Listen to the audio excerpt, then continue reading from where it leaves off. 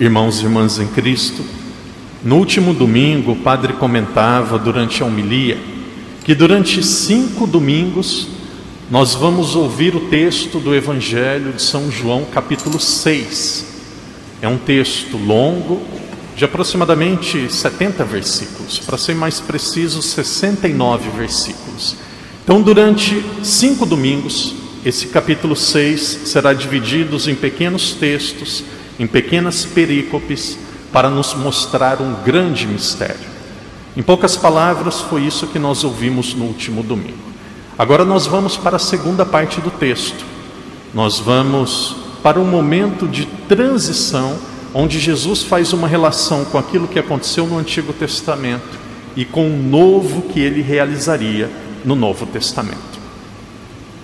Muitas vezes, para nós católicos, é difícil nós entendermos a Bíblia porque nós não tivemos uma formação, uma preparação para isso. Existem até cursos bíblicos no mundo todo, até na igreja, que não ensinam a verdadeira doutrina da igreja quando se fala em Bíblia. Quantas vezes que eu ouvi no Brasil pessoas dizendo assim sobre esse texto da multiplicação dos pães? Não aconteceu um milagre. Ouvi muitas vezes pessoas da hierarquia dizendo: não aconteceu um milagre. Os meninos deram alguns pães, outros sentiram-se motivados pela partilha do menino, também deram o que eles tinham, Jesus deu o que eles tinham, cada um deu um pouco, de repente eles tiveram um montante grande, e aquele montante, aquela coleta de alimento foi suficiente para alimentar todo mundo. O grande milagre é o milagre da partilha. Existe uma grande tendência desde o século XIX com o modernismo, já condenado pelo Papa Pio X ou Pio X, de racionalizar todas as coisas da fé.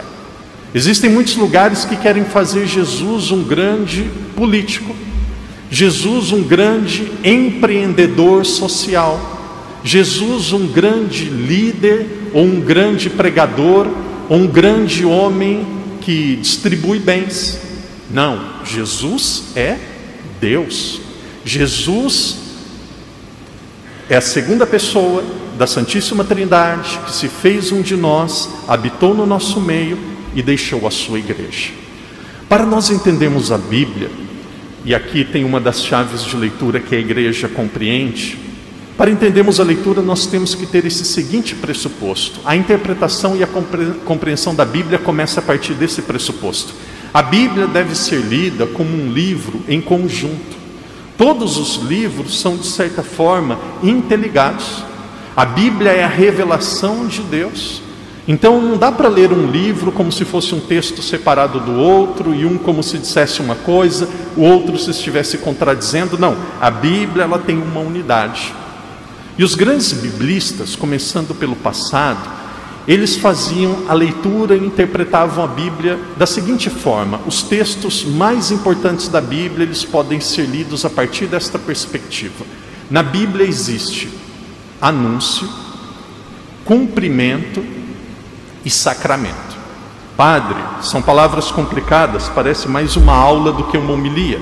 Eu falo isso por respeito a vocês, são pessoas exigentes e querem entender a Sagrada Escritura. Nós vamos passar por um, cada uma destas palavras e depois nós vamos olhar para o texto. Digo novamente, não é para cansá-los, mas por respeito à inteligência e o desejo de vocês conhecerem mais a palavra de Deus e principalmente o ensinamento puro e oficial da igreja.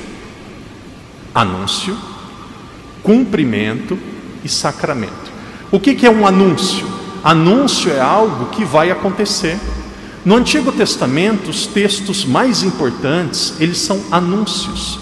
Anúncios daquilo que aconteceria com Jesus. O anúncio está principalmente no Novo Testamento. O cumprimento está em Jesus e o sacramento está hoje na igreja. É assim que nós devemos entender. Por exemplo, quando nós falamos do texto de Moisés, do maná, texto que nós ouvimos hoje na primeira leitura. A primeira leitura hoje nos fala sobre Êxodo capítulo 16, sobre o maná. O que foi o maná? O povo estava com fome, o povo estava blasfemando contra Deus. Depois desceu do céu, através de um grande milagre divino, o pão conhecido como maná, onde as pessoas se alimentavam e podiam se alimentar apenas um dia, não dava para guardar porque no outro dia estragava. Aquilo era um anúncio. O que foi a multiplicação dos pães realizada por Jesus? Também é um anúncio. Mesmo sendo em Jesus, é ainda um anúncio. Jesus pegou os pães, deu graças a Deus e aquele pão foi multiplicado. Era um anúncio. Mas qual foi o acontecimento? Esse anúncio da multiplicação dos pães, do maná, estava indicando para quê? É o texto de capítulo 6, o capítulo 6 que vai nos dizer, estava indicando para a Eucaristia. O nosso corpo precisa de pão, a nossa alma precisa da Eucaristia. O anúncio é o milagre da multiplicação dos pães e o maná. O acontecimento é a, o acontecimento é a última ceia, onde Jesus institui a Eucaristia, o alimento dos anjos, o alimento que é dado a cada um de nós para a nossa alma. E como que é o sacramento? O que, que é o sacramento? O sacramento é o sinal de que aquele acontecimento continua perdurando toda a história e alcança cada um de nós. É assim que a Bíblia é entendida. Multiplicar os pães é um grande ato. Multiplicar os pães é algo divino. Mas Jesus não queria dar apenas alimento para o nosso corpo. Jesus ele foi além. Lá na última ceia, Jesus realiza o grande milagre da Eucaristia.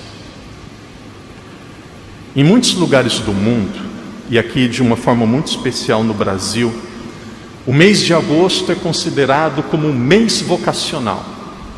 Se eu não estou enganado, em Portugal, Dia dos Pais é dia 19 de março. É isso mesmo? Dia de São José. Algumas vezes, independente se cai durante a semana ou se cai no domingo, Dia dos Pais é 19 de março. É isso ou não é? É isso. No Brasil é diferente. Alguns vão achar engraçado quando nós ouvimos no Brasil Dia dos Pais, dia 19 de março. Eu até peço desculpa aos pais. Normalmente eu não vou cumprimentá-los porque eu não, não, não acostumei com, com essa data. Para nós, Dia dos Pais é segundo domingo de agosto. Padre, que isso? É, no Brasil, Dia dos Pais é segundo domingo de agosto. Então, o mês de agosto, cada domingo é dedicado a uma vocação diferente. Tem um domingo que é dedicado aos leigos, tem um domingo que é dedicado aos pais, o primeiro domingo é dedicado aos padres. Por que, que o primeiro domingo é dedicado aos padres? Porque o patrono, o padroeiro dos padres é São João Maria Vianney. São João Maria Vianney nós celebramos no dia 4 de agosto. Não importa quem é o padre, não importa como o padre vive, e se ele não viver bem, ele vai ser julgado por Deus, e se o julgamento dele for de uma vida que não viveu para Deus, o padre vai para o inferno. É muito provável que tenha padres, bispos e papa no inferno. Não é porque alguém é padre, é freira, que está no céu. Muito pelo contrário, a exigência é muito maior. Um padre que ele não vive a vocação dele, ele vai se ver do, diante de Deus, porque ele foi feito padre, e aqui entra algo belíssimo. O padre, ele pega todo o amor, toda a possibilidade que ele tinha de constituir uma família. Se alguém perguntar para mim, padre, você tinha vontade de ter filhos? Eu tinha. Padre, você tinha vontade de ter uma esposa? Sim, eu tinha. Tinha muita vontade de ter uma esposa e muita vontade de ter um filho. Eu não ofereci algo para Deus que era ruim eu não ofereci algo para Deus que não tinha valor. Talvez algumas pessoas estão dizendo assim, padre, se você soubesse que era o casamento, você não estava dizendo isso, padre. Escapou de uma confusão. Não sei, não sei como que é a vida de cada um. Tem gente sorrindo e olhando para o lado para ver se a mulher não está olhando, não está vendo.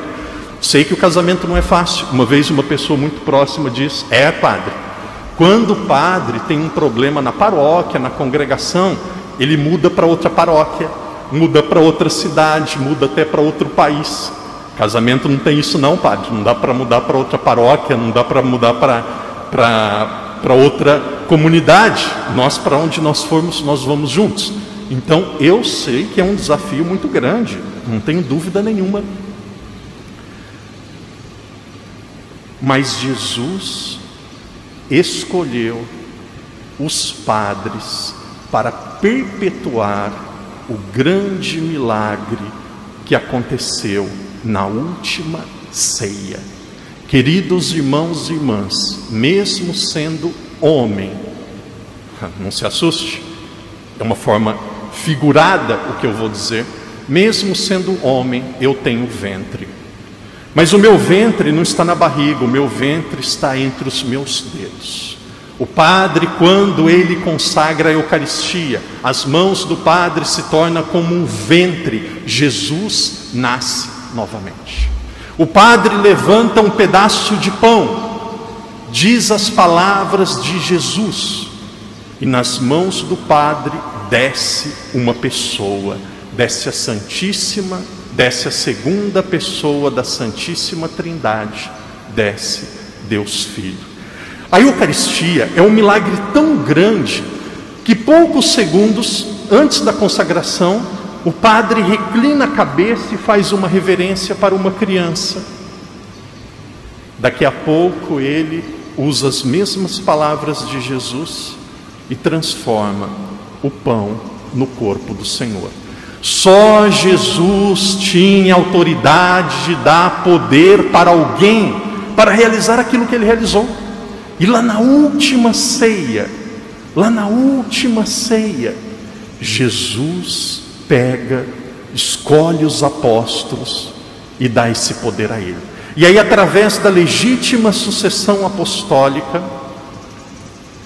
os bispos e os sacerdotes legitimamente ordenados pelos bispos têm o mesmo poder. Digo do fundo do meu coração: eu não sou melhor do que vocês. Não sou, mas eu sou diferente. Eu sou diferente. Todos os dias, quando eu acordo, eu peço a Deus a graça: Senhor, me ajude a ser um sacerdote santo. Me ajude a ser um bom padre. Eu já disse e repito novamente: por que, que eu estou dizendo isso? Porque eu acho que é bonito eu acho que é prazeroso para vocês leigos ouvirem isso da boca de padre. Tem muito escândalo na igreja, tem muito padre sem vergonha na igreja. Infelizmente tem, tem nas famílias também, tem nos colégios também, tem em todos os lugares, infelizmente. Perdão da palavra, se pudesse eu voltava atrás e usava. Tem muitos padres que às vezes fazem coisas que não deviam fazer. É o tal do politicamente correto. Porém, queridos irmãos, qual que é a missão de vocês? Vocês não têm a capacidade, Deus não deu esse poder aos leigos de transformar o pão na Eucaristia, mas Deus deu a capacidade a cada um de vocês de amar a Eucaristia. De amar a Eucaristia. A Eucaristia não é uma coisa, a Eucaristia é uma pessoa. Eu fico muito feliz pela maneira que aos poucos nós estamos tratando a Eucaristia com toda a dignidade em Macau. Já vi uma vez no santuário de Fátima, vi um vídeo, um leigo se ajoelhou para receber a Eucaristia, o padre não entregou. Levanta. E aí o leigo não levantou, o padre mandou embora. Uma pena, não é a doutrina da igreja. Vocês leigos, vocês podem receber a Eucaristia ou em pé ou de joelhos. Cada um vai ver como que é. Olha que bonito, aqui nós temos o genoflexório. Daqui a pouco chega na hora da comunhão, muda tudo aqui os bancos para as pessoas se ajoelharem. Antes do padre fazer a consagração, o que, que acontece aqui ao redor do altar? Acontece incenso. Incenso é só para Deus. Nós temos que tratar com todo amor e com toda dignidade a Eucaristia. Gostaria, e aqui o padre vai caminhando para o final da celebração, peço desculpas, algumas vezes eu cito o nome do Adriano, do nosso seminarista, gostaria de estar falando para muitos outros seminaristas, e se esta pregação chegar a outros seminaristas e a outros padres, a vida do padre tem como centro o altar. Quem não gosta de missa, quem não gosta da Eucaristia, não pode ser padre. O centro da vida do padre, o centro do nosso dia é a Eucaristia. E aqui para vocês leigos, o momento mais importante da semana é a missa do domingo. É, é. Eu aprendi quando eu era criança, já disse outra vez. Eu aprendi quando eu era criança.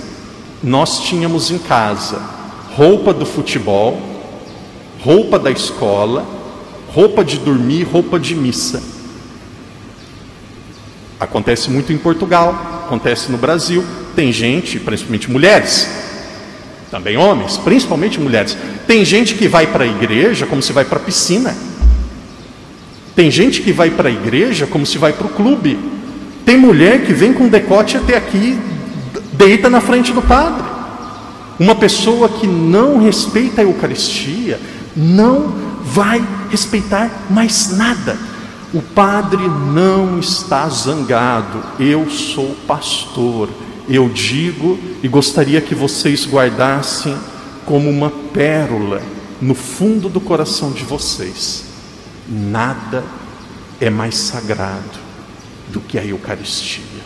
Nada, nada é mais sagrado do que a Eucaristia. Nada é mais lindo do que a Eucaristia. Depois que você receber a Eucaristia, volta para o seu banco, ajoelhe, abrace você e fique só com Jesus. Só com Jesus. Não é, claro, nós temos as músicas, se preferir, tente nem ouvir a música. Abrace você mesmo. E ali é você e Jesus. A cada momento, depois da Eucaristia, Deus nos dá uma graça muito grande de nós sermos lançados para o céu. Ou melhor, depois da Eucaristia, Deus dá uma graça muito grande do céu ser lançado até a terra. E aí depois Jesus diz: agora volta para o cotidiano, volta para a vida. O céu será uma grande missa com muito incenso, com muitas flores, com muitos cânticos e com muitos louvores a Deus. Quando nós participamos de uma missa com amor e com devoção, nós antecipamos o céu. Queridos irmãos e irmãs, que nada nem ninguém nos afaste e nos tire o amor pela Eucaristia. A Eucaristia é tudo. A multiplicação dos pães e o maná é o anúncio. A última ceia é o acontecimento. A missa é o sacramento que vai perdurar até o último dia da história. E eu não tenho dúvida nenhuma daquilo que eu vou dizer. Graças à missa, esse mundo não está pior. Graças à missa e à Eucaristia, esse mundo ainda está em pé. E se não fosse a Eucaristia, vocês sabem disso, muitas vezes melhor do que o padre. Se não fosse a Eucaristia, nós não aguentaríamos os nossos desafios da nossa vida. Você sabe o que você passa lá na sua casa. Você sabe quais são os desafios do seu cotidiano. Sabe, eu não sei. Você e Deus, só vocês sabem. Não se iluda. Se não fosse a Eucaristia, nós não estaríamos em pé. Obrigado, Jesus, do fundo do nosso coração porque o Senhor não nos deu algo. Em cada missa o Senhor nos dá. O Senhor mesmo.